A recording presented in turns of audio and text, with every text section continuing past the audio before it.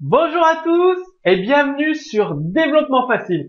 Donc ensemble, on continue la, série de cours dédiés à jQuery Mobile et cette fois, vous allez découvrir bah, l'utilisation des liens. Donc c'est toujours en fait des, cours qui vont vous apprendre les bases. Euh, donc avant de rentrer dans le vif du sujet avec le framework jQuery Mobile, vous allez apprendre les bases du développement d'applications sur le mobile. Il y a des contraintes à connaître il faut adapter votre euh, vos applications, votre développement justement aux applications mobiles.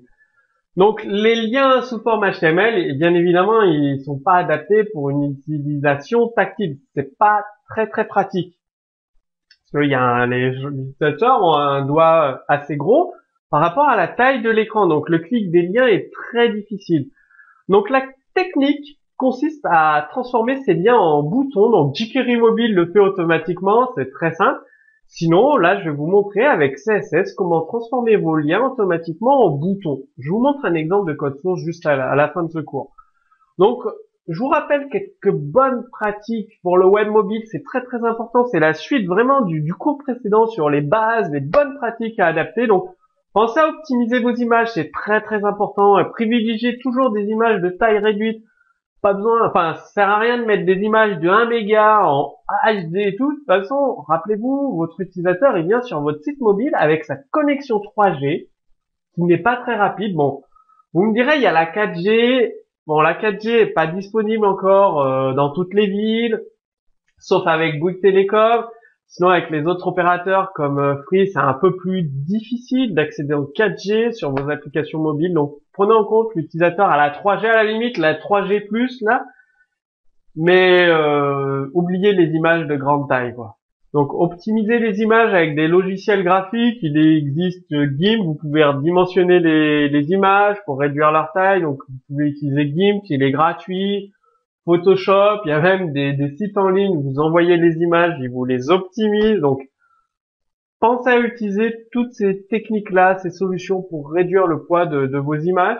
Bien évidemment, vous supprimez de vos sites mobiles toutes les images décoratives qui n'ont pas d'éléments informatifs pour vraiment aller à l'essentiel sur vos applications mobiles. Donc pas d'images d'arrière-plan évidemment, euh, elles prennent de la taille, elles nuisent à la lecture du texte, Oubliez les gifs images animées. Par contre, pensez à utiliser toutes les nouveautés CSS3 avec CSS. C'est léger, c'est comme du code HTML, donc ça, fait des fichiers très légers chargés par le, navigateur mobile. Donc, euh, utilisez CSS3 pour présenter vos applications web.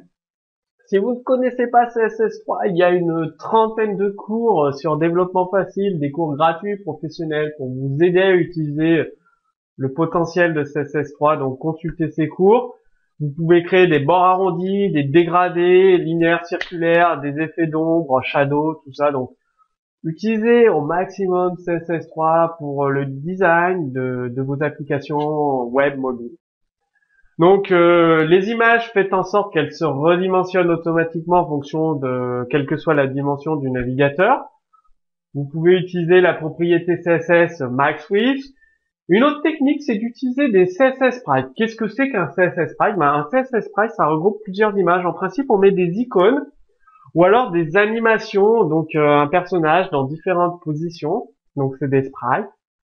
Et avec CSS, plutôt que de prendre l'image complète, donc on charge l'image évidemment, mais on va prendre des morceaux de l'image qui correspondent à une icône, donc euh, en passant par la propriété CSS3, background position. Donc définit la position du background et on prend cette icône-là, cette icône-là, cette icône-là, cette icône-là.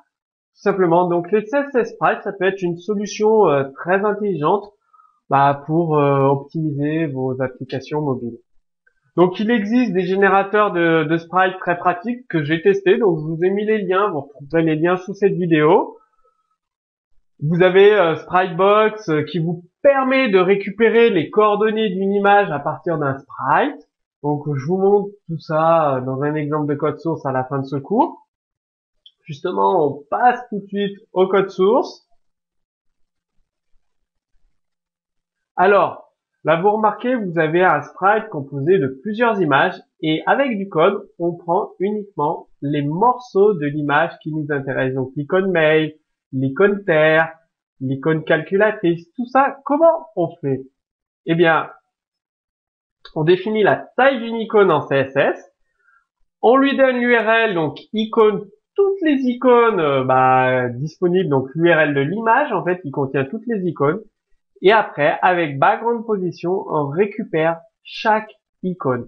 Donc rappelez-vous juste euh, dans la diapositive d'avant, je vous ai mis un lien pour récupérer automatiquement les coordonnées de chaque icône. Vous n'avez même pas besoin de les calculer. Des sites internet vous proposent de faire tout le travail à votre place. Donc les positions, elles sont calculées par le site internet. Il suffit de lui donner cette image et il va vous donner toutes les positions. Bah après comment vous faites? Bah, il suffit euh, bah, d'appeler euh, une div avec l'ID et vous mettez votre image en fond d'écran tout simplement. Et donc ça donne ça comme résultat. Ensuite, vous avez les liens qu'on le transforme en boutons. C'est-à-dire, dans votre code source, vous avez des liens classiques ici. Donc ce serait des liens s'il n'y avait pas le, CSS. Et avec du, avec la possibilité de CSS3, vous allez transformer tous vos liens automatiquement en boutons. Bon, je vous l'accorde, ça fait beaucoup de CSS, faut comprendre, euh, tout ce qui est euh, ajout de dégradé, ajout d'effets. Sachez qu'avec le framework jQuery mobile, tout ça, vous pourrez le, supprimer. Ce sera fait automatiquement. Vous mettrez vos liens et automatiquement, ils seront transformés en boutons. Donc là, vous avez des boutons tout simplement. Donc bah maintenant, c'est à vous de jouer. Donc euh, continuez l'optimisation de vos sites internet pour euh, pour les mobiles les smartphones, les tablettes. Si vous avez des questions, vous pouvez les poser directement sous cette vidéo. Vous retrouverez le code source complet sous ce cours vidéo. Et si vous voulez aller beaucoup plus loin pour apprendre euh, toutes les possibilités de jQuery, jQuery 8, jQuery mobile, Dojo, donc au-dessus il y a une image ou à la fin de cette vidéo il y a un lien qui s'affiche.